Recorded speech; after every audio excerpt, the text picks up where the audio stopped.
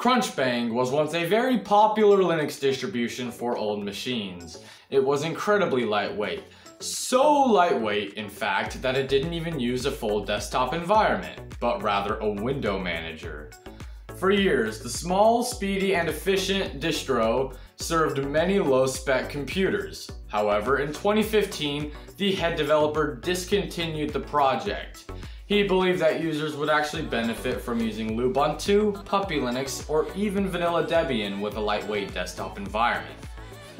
Because Crunchbang was so loved and adored by many, various forks of the distro have been created in an effort to continue providing an up-to-date version of Crunchbang.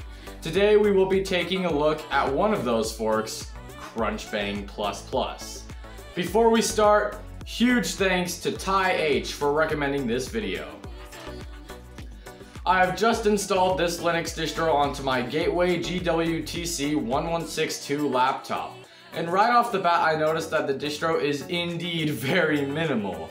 It comes with very few apps installed and a very bare bones desktop. The taskbar has the window icons inside of the workspace switcher, which is interesting and something I've never seen before.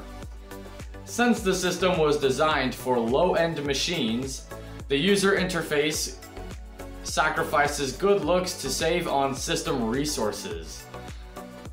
Because of this, the user interface is not very attractive. But you know what is attractive? JPT merch. Available in any style and color you want.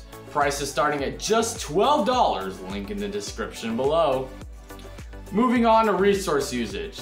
The system uses about 600 to 700 megabytes of RAM and about 4 gigabytes of storage on a fresh install.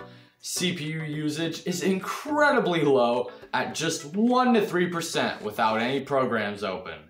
Crunchbang uses Debian 11 as its base, giving it a wide availability of apps and games. After installing a few games, however, I was unable to find them from the start menu, that meant I had to manually run them, which was a bit of a pain.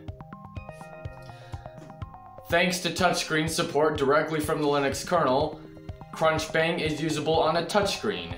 However, with the exception of basic kernel support, there is no additional touchscreen support, which means touchscreen users miss out on gestures, the on-screen keyboard, and many other useful touchscreen features available on other Linux distributions.